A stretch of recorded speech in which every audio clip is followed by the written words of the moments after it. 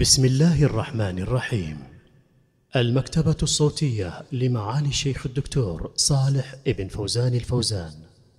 أضواء من فتاوى شيخ الإسلام ابن تيمية في العقيدة للشيخ صالح بن فوزان الفوزان حفظه الله. الدرس الثامن والتسعون بعد المئة. الحمد لله رب العالمين والصلاة والسلام على نبينا محمد وعلى آله وأصحابه وبعد. يتكلم الشيخ رحمه الله عن معاداة أعداء الله وأنها شرط للإيمان. فيقول فإن نفس الإيمان ينافي موادتهم كما ينافي أحد ضدين الآخر.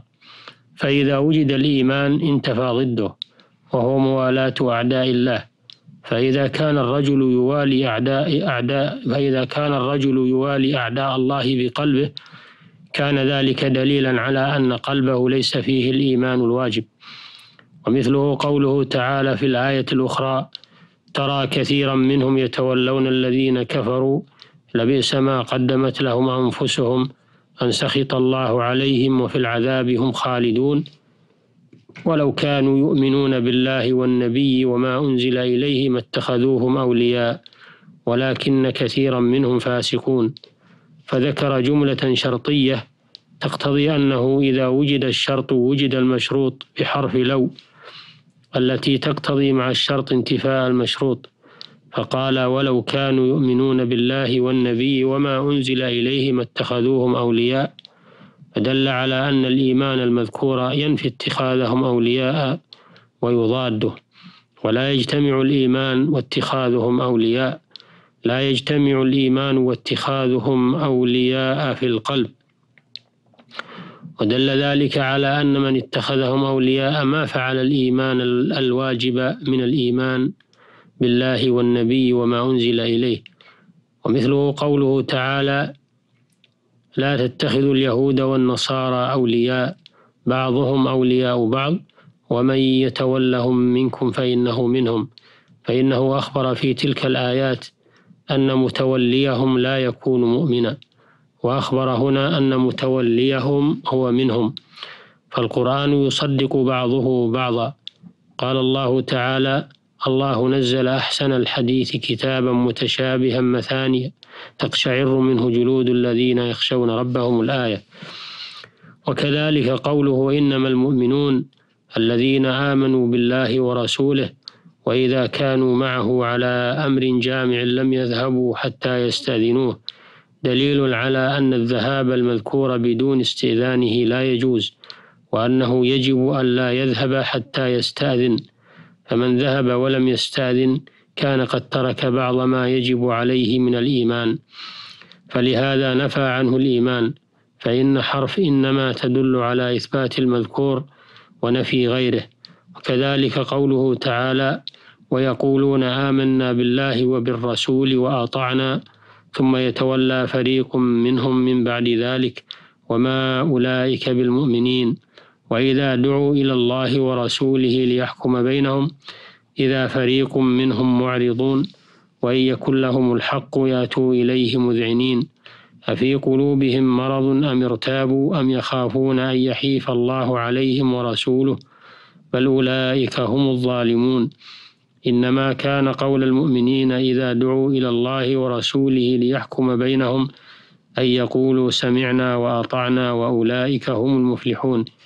إلى أن قال رحمه الله والمقصود هنا أن كل ما نفاه الله ورسوله من مسمى أسماء الأمور الواجبة كاسم الإيمان والإسلام والدين والصلاة والصيام والطهارة والحج وغير ذلك إنما يكون لترك واجب من ذلك المسمى ومن هذا قوله تعالى فلا وربك لا يؤمنون حتى يحكموك فيما شجر بينهم ثم لا يجدوا في أنفسهم حرجا مما قضيت ويسلموا تسليما فلما نفى الإيمان حتى توجد هذه الغاية دل على أن هذه الغاية فرض على الناس فمن تركها من أهل الوعيد فمن تركها كان من أهل الوعيد ولم يكن قد أتى بالإيمان الواجب الذي وع... الذي وعد أهله بدخول الجنة بلا عذاب.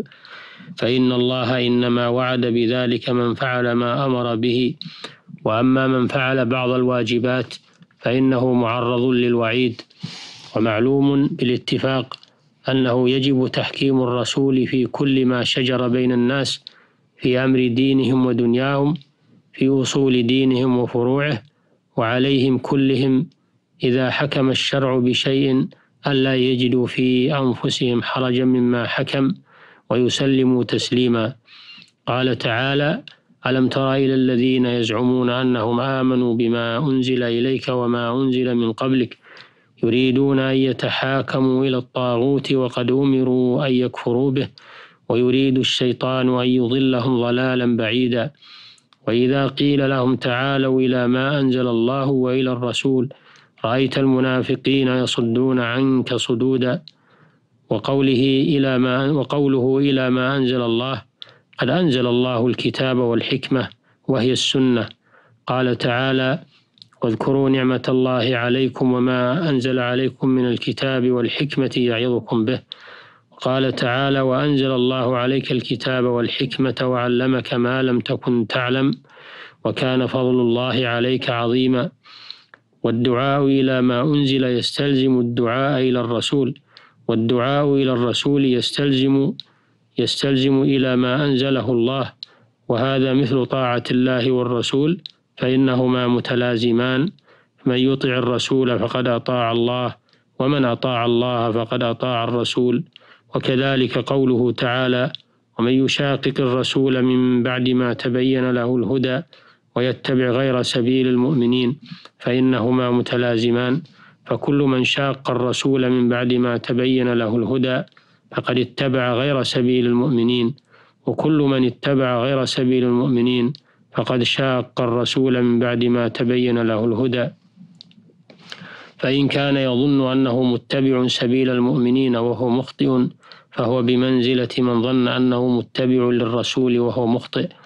وهذه الآية تدل على إن أن إجماع المؤمنين حجة من جهة أن مخالفتهم مستلزمة لمخالفة الرسول وأن كل ما أجمعوا عليه فلا بد أن يكون فيه نص عن الرسول. فكل مسألة يقطع فيها بالإجماع وبانتفاء المنازع من المؤمنين فإنها مما بين الله فيه الهدى. وما ومخالف هذا الإجماع ومخالف هذا الإجماع يكفر كما يكفر مخالف النص البين. وأما إذا كان يظن الإجماع ولا يقطع به فهذا قد لا يقطع أيضا بأن بأنها مما تبين فيه الهدى من جهة الرسول ومخالف ومخالف مثل هذا الإجماع قد لا يكفر بل قد يكون ظن الإجماع خطأ بل قد يكون ظن الإجماع خطأ بل قد يكون ظن الإجماع خطأ والصواب في خلاف هذا القول. وهذا هو فصل الخطاب فيما يكفر به من مخالفة الإجماع وما لا يكفر. إلى أن قال رحمه الله كل ما أجمع عليه المسلمون فإنه لا يكون إلا حقا موافقا لما في الكتاب والسنة لكن لكن المسلمون يتلقون دينهم كله عن الرسول. وأما الرسول فينزل عليه الوحي وحي القرآن ووحي آخر هو الحكمة كما قال صلى الله عليه وسلم ألا إني أوتيت القرآن الكتاب ومثله معه. وقال حسان بن عطية كان جبريل ينزل على النبي صلى الله عليه وسلم بالسنة فيعلمه إياها كما يعلمه القرآن. بخلاف ما يقوله أهل الإجماع فإنه لا بد أن يدل عليه الكتاب والسنة فإن الرسول هو الواسطة بينهم وبين الله في أمره ونهيه وتحليله وتحريمه. وبهذا انتهت هذه الحلقة فإلى غيرها إن شاء الله تعالى. صلى الله وسلم على نبينا محمد. وعلى آله وصحبه.